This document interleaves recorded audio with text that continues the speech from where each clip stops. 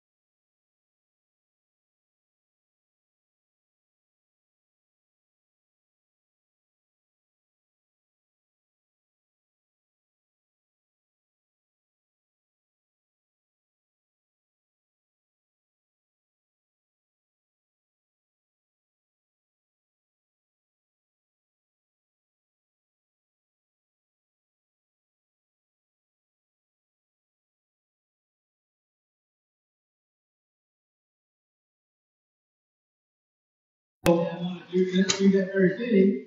So I will say to y'all what I say at every event we have at Nash Community College, and that is great evening. Notice I didn't say good evening. I didn't hear anything back. Great evening. So at Nash Community College, things are not good, they're great. And so saying good evening just doesn't cut it. So I am Lew Hunnicutt. I'm honored to be the president of this incredible institution. And officially, I have to do my official thing or I can't get paid. On behalf of the Board of Trustees, faculty, staff, and students at Nash Community College, welcome to campus. My hope is you'll finish early enough where you can drive around campus. Everyone in the world has been in this building, but it is amazing when I do VIP tours and take people in golf carts around. They're like, I didn't know you had that. I didn't know you had that. I know you had that. We have an incredible 125 acre campus. We serve over 20,000 students a year in our program. And we have all kinds of new things happening. Our driver training center is about to open adjacent to campus. We just opened a veterinary medical technology annex. So a lot of great things are happening at Nash Community College. And I will tell you, for the first, I've been here since November of 2019. Remember what happened right after that, the little thing called COVID? So my entire presidency has been COVID. And because of that, in, in team meetings we've had and the other meetings we've had, we've had to also always talk about our enrollment drop. We were like every other college in the nation, COVID, we had a COVID hole for enrollment. I'm really proud to tell you, and I just got to tell the team today, our enrollment is up over 10% this fall. So we're very, very proud of that. So with that said, I will get out of your hair. Now here's the thing. I could stay and eat Chick-fil-A with y'all, or I have friends from out of town that want to go to Prime Smokehouse, so I'm really sorry. But I'm, I'm going to go eat with them. So I just want to, otherwise I'd stay here with y'all and be here. But welcome to campus. We, we're so glad you're here. And I will bring up Pastor Andrew Barcliffe and he will bless the whole event. So, thank you. Would you pray with me? Father God, we acknowledge your presence in this room with us right now, and you as God over all. God, we recognize that you are the provider of everything we need. So with that in mind, we say thank you for our food. Thank you that you provide for our needs, and may it be used to bless and nourish our bodies. Father God, your word tells us that you are the giver of wisdom, and if we ask, you give generously. And so, Father God, in our conversations and discussion this evening, as we look at safety in our community and traffic, Lord, I pray that you grant wisdom as your word promises. May your spirit fill this room. In Jesus' name I pray. Amen.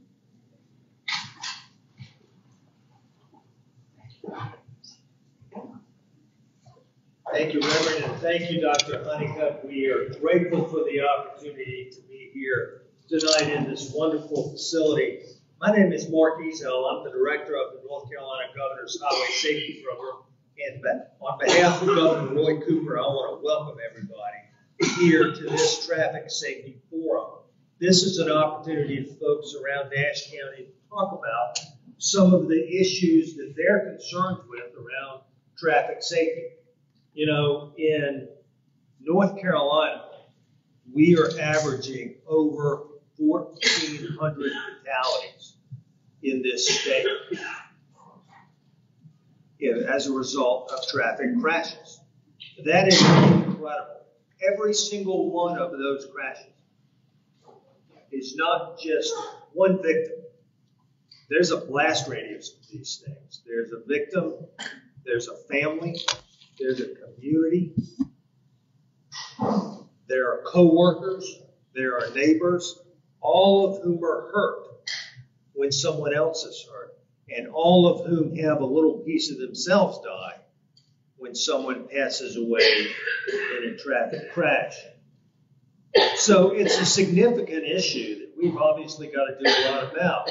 There's an average in Nash County of 25 crashes a year, or 25 fatalities rather, a year. People who have died on Nash County roads as a result of traffic crashes. Um, and that pales in comparison to the number of serious injuries that we see. We see about 1,250 injuries in Nash County as a result of traffic crashes. So there's a lot that clearly needs to be done. It is a major public health issue in this state and in this county. What it's going to require really is all.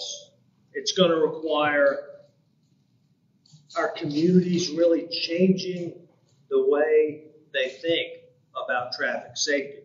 And it's going to require creating systems that are geared towards safety.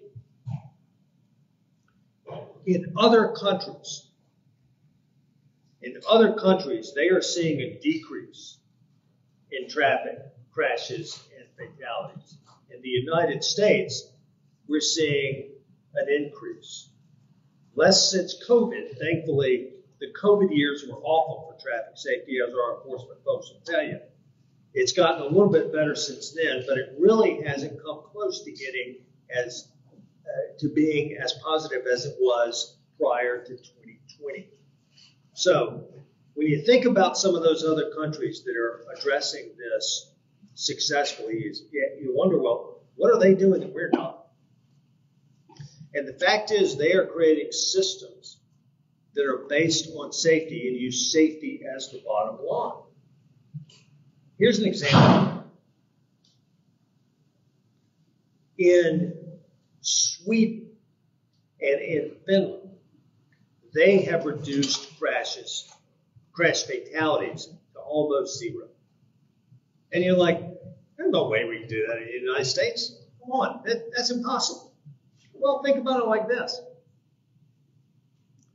When I was growing up in Rocky Mount, in Englewood, no less, I would read the Nashville Graphic. And the Nashville Graphic wouldn't print this as much because it was always relentlessly focused on local stuff, which is part of what I love about the paper.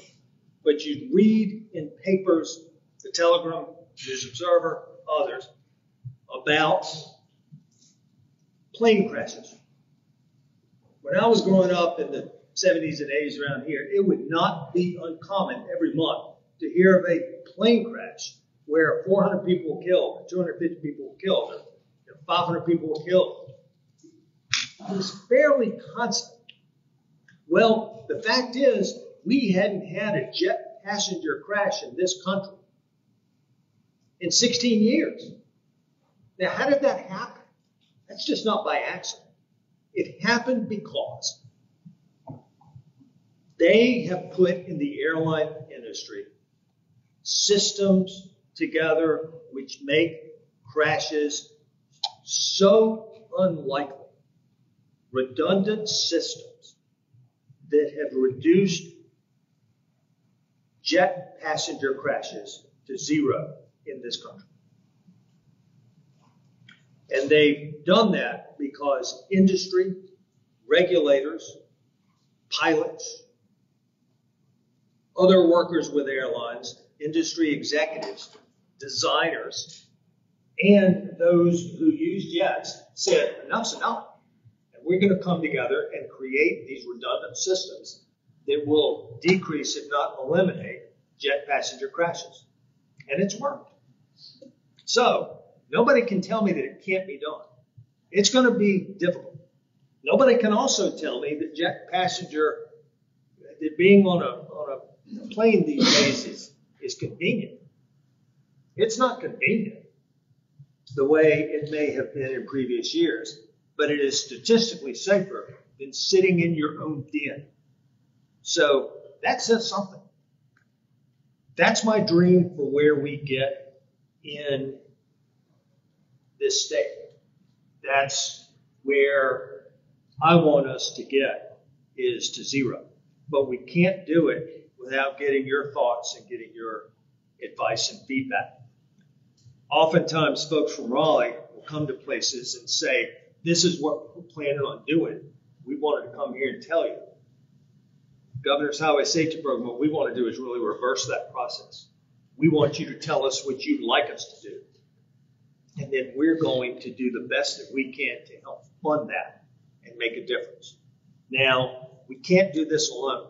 The Governor's Highway Safety Program, our funding can only address behavioral issues issues around education, our enforcement, or uh, public health, things of that nature. We are not the design folks. Fortunately, we have the DOT folks with this division who are the designers here, who are also in a position to get this feedback, this feedback uh, back to their work as well. So if you have other suggestions during the course of this discussion, there are things that we can't address, we know the folks that can, and we will take that back. So it's going to be a really exciting session. I'm really excited to have you all here. I've also got another facilitator here that I'm going to call on now, Dr. Holly Whistler, who works here at Nash Community College, where she's a professor. She's going to help facilitate this event. So, Dr. Whistler, I'm going to turn it over to you now. Thank you.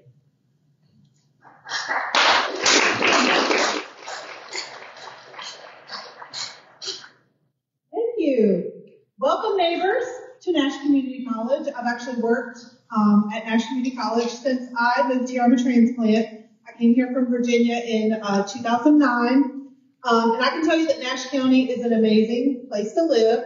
Nash Community College is an amazing place to work. One of my favorite things about Nash Community College is the trail. Has anybody run the trail or walked the trail? It's pretty phenomenal. Um, it's one of my favorite things about the. Um, I currently teach uh, in the education department here at Nash Community College while also chairing the Cooley Library Board and coaching youth soccer. So I'm very invested in our youth here in the community. I had the pleasure uh, to meet Dr. Cheryl Leonard, uh, who connected me with this event through a mutual friend nearly a decade ago. Um, and she and I have been lifelong public servants. We wanted to do it at a community event for a long time, and so thank you, Cheryl, for the invite. I really appreciate it. One of the things I want to remind everyone of is that we're neighbors, right? We all live here, we travel here, we shop here. Um, ensuring that my neighbors, you guys, travel our highway safely is at the front of my mind for two reasons. Number one, my husband is a paramedic. He works on an ambulance. He responds every day to crashes. And I used to worry a lot, especially when my kids were young, was, is he going to get hit by somebody just speeding along, right? Not paying attention, not uh, seeing the hazard ahead of them. Um, and I also have two children. They're both teenagers. They attend school here and they will be driving soon. And so we've started early with teaching them things like road signs, pulling over for the police, those sorts of things. Um, and as such, Mark shared some statistics uh, with me, and there were two that really stood out as a wife and a mother. So from 2020 to 2024, nearly 2,000 young people in Nash County were injured in a collision. So these are young drivers, right? Students who are just getting out there, learning how to drive very inexperienced. And I immediately thought about my two teenagers who are going to be driving soon. Are they going to be the victim of one of those statistics? The other, other statistic was that between 2020 and 2024, there were nearly 6,000 injuries on a highway in Nash County. And I immediately thought about the first responders, like my husband, who get there first, who are trying to save someone's life, while motorists are just haphazardly bebopping along the highway, not paying attention to what's ahead of them. So I hope tonight that we are able to listen to the experts, use the information that they give us to reflect on our own habits, and understand how to encourage each other and those who live in our neighborhoods to be mindful of the road. So with that in mind, I would like to transition to someone who's probably very famous um, among uh, Nash County, uh, Dr. Uh, Ken Moore, who's an emergency department attending physician, and I can tell you he's phenomenal. When I first moved here, he was, of course, he remembers me, right? He was, uh, he was working that night. My daughter had like a 104 fever, and I was a new mom, and I brought her in. And um, he just gave me a lot of reassurance. He has an amazing bedside manner, and I can't imagine anyone better to talk about um, um, this this topic than, than Dr. Moore. So anyway, Dr. Moore.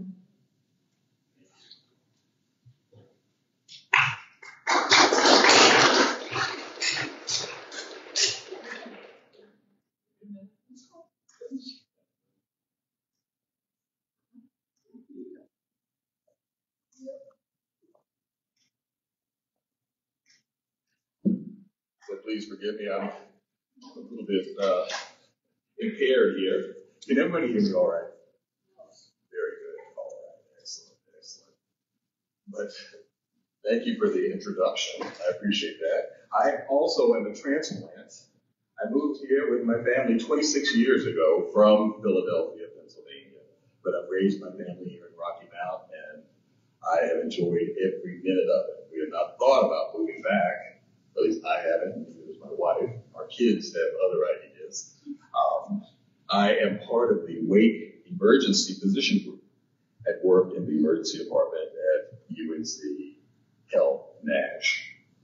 Um, I'm also the medical director for emergency medical services for Nash County. So the ambulances, the paramedics that you see here, I work with them. They're a talented um, bunch, and I'm very glad to see uh, them out there because they're doing a wonderful job for our community.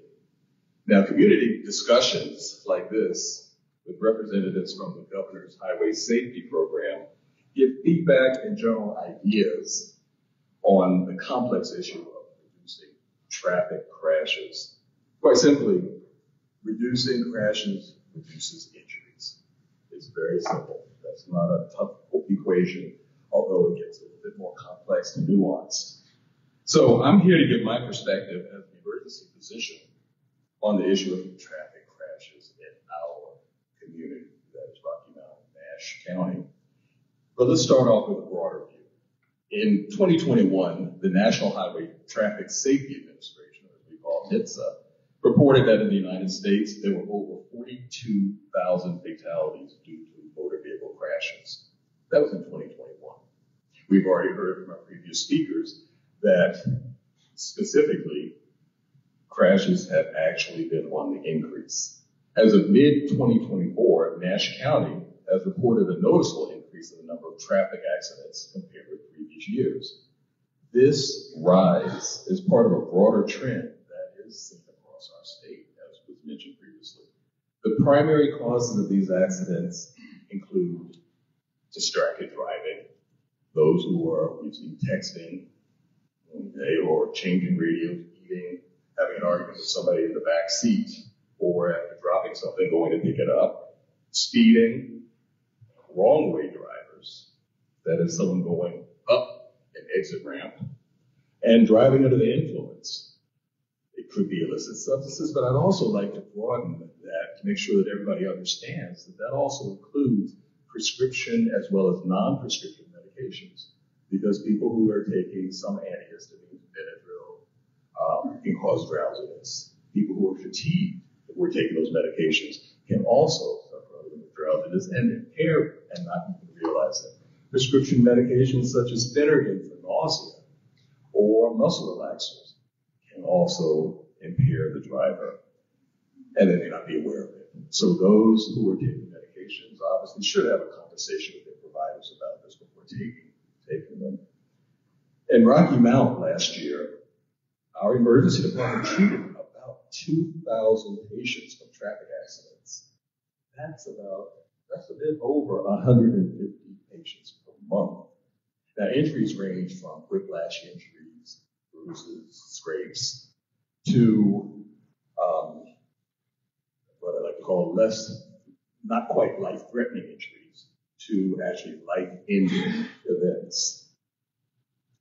The My EMS crews are busy each year, treating and transporting patients to the emergency department, primarily Nash Emergency Department, but we have a few that go to Wake Med, depending on what part of the county uh, the accident occurs. And there are some who are actually hot loaded from the scene into a helicopter and flown to our area trauma center in Greenville. Each of us in this room, as was previously alluded to by Ms. Whistler, knows someone who's been affected by a traffic accident. A friend, a neighbor, a fellow church member, a coworker, a work colleague. So this issue can be front and center in our daily lives. There are those whose lives have been cut short or whose careers or relationships have been affected by traffic accidents. Some of these incidents are actually invisible. Traumatic brain injury, chronic pain, anxiety, depression after an accident. Those are things that you don't necessarily see but can affect relationships and the patient, obviously. Last year, our community lost a very bright, young, ear, nose, and throat doctor. She had just finished her training, had a baby, and was starting her practice when she was killed in a traffic accident here in town. So I and my colleagues in the emergency department and with EMS are poised not only to provide care for patients, but also to connect with our community. We are resource advocates, and we want to work with you to develop prevention strategies. You know, as Mr. Ezzell had alluded to earlier, you know, the governor's mission works with uh, behavioral changes, which are very difficult, but there are also structural things that I'm sure with brainstorming, we're all going to be able to get to tonight. Um, for example, we already have traffic calming strategies like median barriers, rumble strips, uh, speed bumps, and who can forget what we just recently started having those roundabouts. uh, as annoying as some of these may seem to everyone, the documentation does show that has reduced the number of injuries and fatalities since they've been implemented. So with that, I'm certain there are many more strategies that we might come up with tonight as we brainstorm. And not all may be right for our area, but we need to get started and start here and that. And so I'd like to turn this over to my next speaker. Thank you. Again, give me a minute here.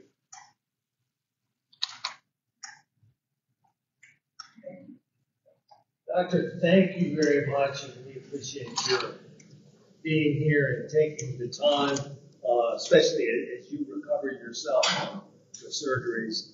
Uh, Dr. Moore has given you an idea of the extent of traffic crashes and how they affect the community. Our next speaker is really, I think, can speak to that from a personal level.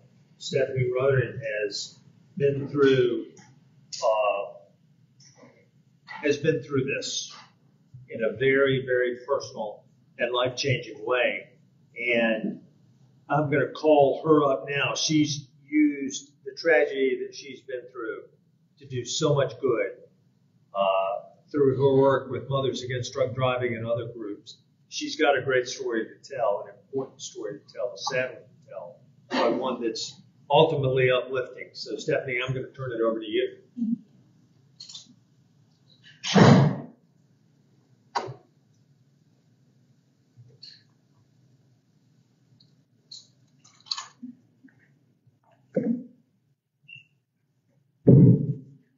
Hi, my name is Stephanie Ronan. I've called Rocky Mount my home for the last 20 years. My two kids grew up here and they both graduated from Nash Central High School. And I spent almost 11 years working at the Eye Care Center as an optical technician. This community is my home and I'm grateful to be with you this evening. I want to talk about something that hits close to home, literally. The story I'm about to share happened just 30 minutes from where we're sitting right now. It's a story that can easily happen to anyone in this room. September 28, 29, 2018, I was driving home from a friend's house in Wilson County. It was a regular night, nothing special. I was driving on East Downing Street, headed home, when the blink of the eye, the blink of my eye, everything changed forever. I was told that a pickup truck was going 55 miles an hour, had crossed over the center lane, and hit me head on, pushing me 500 feet in a ditch. I later was told that the Contentnea and Rock Ridge volunteer fire departments had to use the jaws of life to cut me out of my SUV. I was then life flighted to Greenville, um, to Vidant, where I spent the next several months fighting to recover. Now let me share something with you that's hard to believe. The average impaired driver has driven drunk 87 times before ever getting caught. 87 times. That means that the drunk driver that crashed into me was likely driving on our roads, risking other lives again and again, before I finally destroyed mine. I suffered multiple injuries, hardware in my neck, both of my legs, foot and ribs, had a traumatic brain injury, and one of my eyes had crossed, causing me to see double. I now have a permanent visual impairment that makes reading things like this tonight challenging. I survived an internal decapitation. It's a rare injury that only 25% of people survive. The man that did this to me was driving on a suspended license. Uh, he was impaired. He got arrested three weeks prior to my crash. he had a, he was charged with an alleged DWI, which later was thrown out. When I finally came home to the life I knew, um, when I finally came home, it was a different life than I knew before. I came home to a wheelchair ramp, a hospital bed in my living room. My son Noah had just turned 19 and had to step up in ways that no teenager should ever have to. My daughter Jenna had to grow up overnight. Even our dog had to live with a neighbor to avoid risking any injuries of her jumping on the hospital bed. I also had a nurse's aide. They came seven days a week to do tasks like bedside bathing, helping me dress, and feeding me breakfast. This isn't just my story. It's a story that could easily be yours or someone you love. Every time you get behind the wheel or let a friend do it, you're gambling with lives. And it's not just about innocent people. It's, excuse me, it's not just about you. It's about innocent people on the road who could end up like me. I'm here tonight to ask you to do something that could save lives, maybe even your own. If you're going out to drink, make a plan. Assign a designated driver, call an Uber. Also, it's important to talk to your kids early about the dangers of driving under the influence. Don't wait until they're in high school because chances are by then they've already have experienced alcohol. One person's choice to drive impaired didn't just change my life, it devastated it. I can't work anymore. I live with pain every single day. But my story, if my story can make this one person think twice before getting behind the wheel drunk, then maybe I can find some purpose in this pain. So please, if you remember one thing tonight, is plan ahead. And if you see someone driving erratically on the road, don't hesitate to call 911 for an emergency or Star HP for highway patrol. You can save a life and that life could be yours or someone you love. Thank you.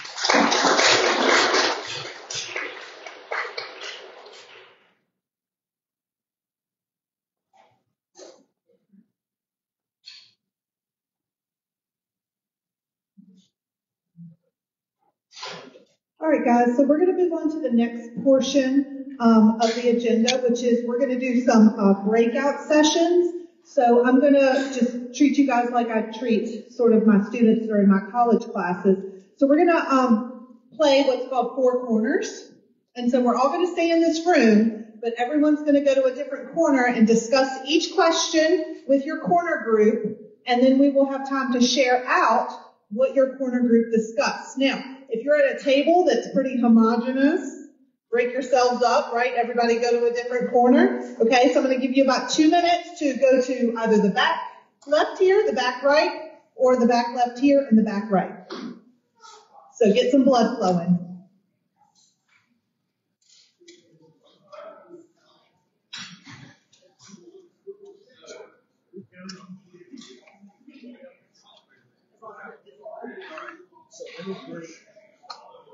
You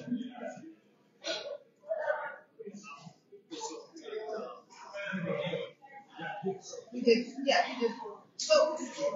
They can kind of themselves and do the.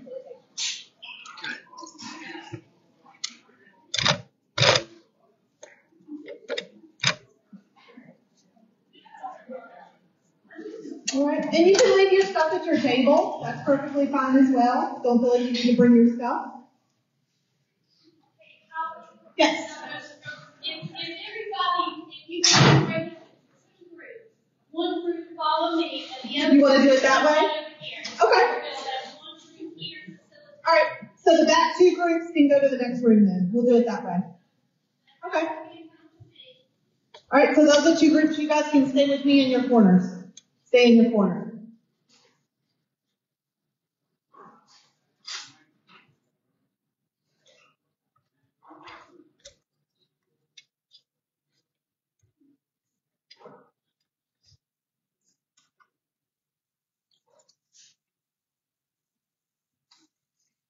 All right, we need some more people in this front corner here. If anybody needs a room. Don't be shy. Yeah, come on over.